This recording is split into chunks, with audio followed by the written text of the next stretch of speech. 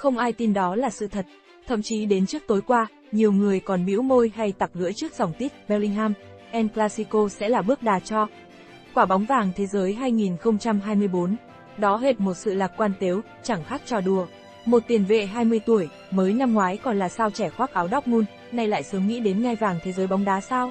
Riêng việc lần đầu trải nghiệm bầu không khí rực lửa kinh điển, hẳn còn tim đập chân run kìa.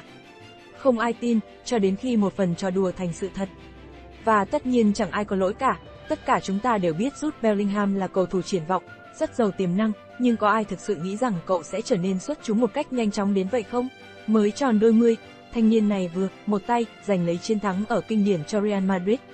Thực vậy, Los Blancos tưởng đã trắng tay rồi trong ngày thi đấu ở sân nhà tạm lạ lẫm của đối thủ truyền kiếp Estadio Olympic Louis Company. Họ bị chọc thủng lưới từ ngay phút thứ 6, và suốt một tiếng sau đó đã trời lép vế hơn cho đến khi Bellingham quyết định ủi phẳng cách biệt bằng cú sút hung hãn đến mức gần như bạo lực. Nghiêm túc mà nói, cơn thịnh nộ của Bellingham có thể được cảm nhận cả trong bầu không khí. Anh tỏ ra khó chịu hơn bất cứ ai khác trên sân chính xác là tức giận khi Real bị dẫn bàn để rồi ra tay giải cứu Los Blancos một lần nữa.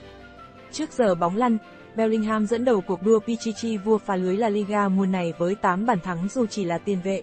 Anh hơn người bám đuổi Antoine Griezmann một bàn, đang trên đà hồi sinh ở Atletico, có lẽ đàn anh người Pháp cũng không ngờ cách biệt sẽ bị nới rộng đáng kể sau vòng đấu này. Ngỡ ngàng đến sững người, đó là tiếng nói từ ánh mắt của Mander Testegen khi anh nhổm dậy, sau pha bay người cản phá bất thành cú sút xa của Bellingham ở phút 68.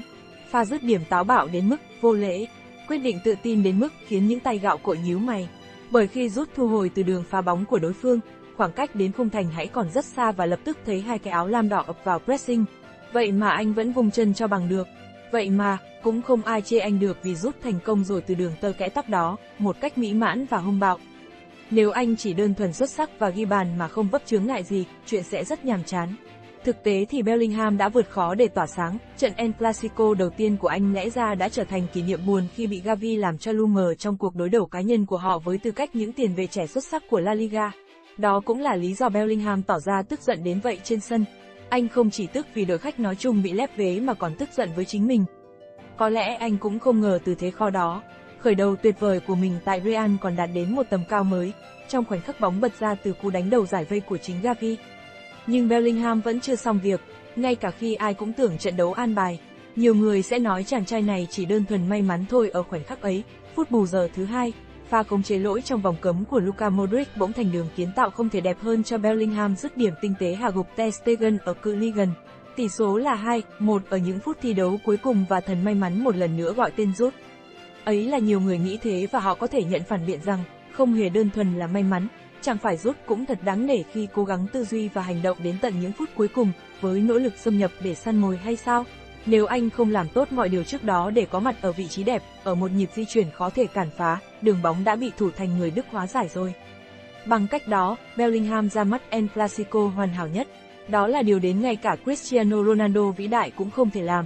Thậm chí thành tích còn ấn tượng hơn nếu so sánh một cách công bằng hơn so Bellingham với tiền vệ vĩ đại bậc nhất trong màu áo trắng.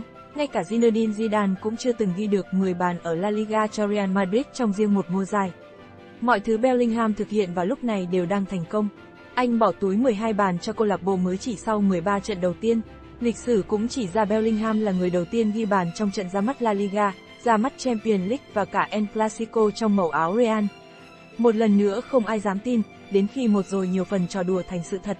Không một ai trong số những Zidane, Ronaldo hay thậm chí Alfredo Di Stefano từng khởi đầu sán lạn đến vậy tại Los Blancos. Chính xác hơn, chưa cầu thủ nào từng tạo ra sức bật, sức ảnh hưởng ngay lập tức như vậy ở cấp độ này. Đó có lẽ là mức độ tài năng mà người viết bài, bước đà cho quả bóng vàng 2024, đã cao hứng hình dung. Chặng đường ấy vẫn còn rất xa và Bellingham còn cần chứng minh rất nhiều, thậm chí vấp phải những đối thủ cạnh tranh sừng sỏ như Erling Haaland hay Kylian Mbappe.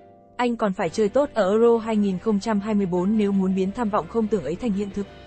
Nhưng có một điều chắc chắn ngay từ lúc này, trong bối cảnh hai đội không còn nhiều ngôi sao, Jude Bellingham đã là nhà vua mới của El Clasico.